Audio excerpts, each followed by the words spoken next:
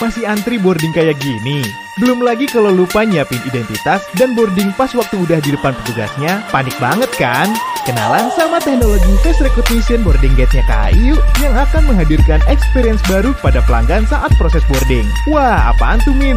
Ini adalah fasilitas layanan boarding mempergunakan gate yang dilengkapi dengan teknologi pengenal wajah. Proses boardingnya udah tinggal berdiri di depan kamera dan voila, bisa langsung masuk ke ruang tunggu. Gak perlu lagi cetak boarding pass dan nunjukin KTP. Satset lah pokoknya. Tertarik nyobain? Sebelumnya kalian harus mendaftarkan identitas terlebih dahulu di customer service, machine, atau mesin check-in counter yang telah dilengkapi dengan iktp reader.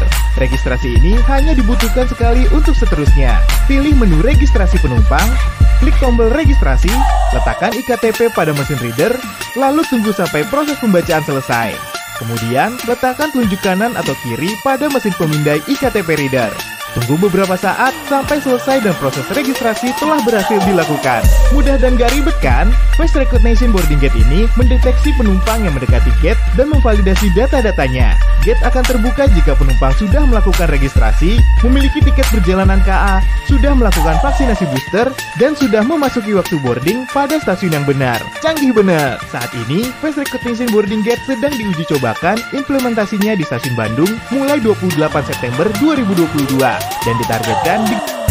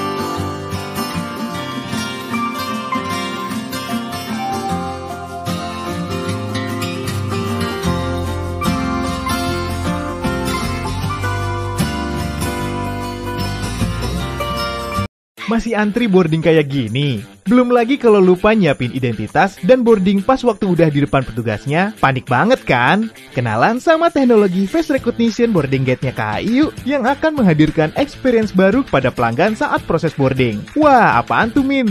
Ini adalah fasilitas layanan boarding mempergunakan gate yang dilengkapi dengan teknologi pengenal wajah. Proses boardingnya udah tinggal berdiri di depan kamera dan voila, bisa langsung masuk ke ruang tunggu. Gak perlu lagi cetak boarding pass dan nunjukin KTP. Satset lah pokoknya. Tertarik nyobain? Sebelumnya kalian harus mendaftarkan identitas terlebih dahulu di customer service, vending machine, atau mesin check-in counter yang telah dilengkapi dengan iktp reader.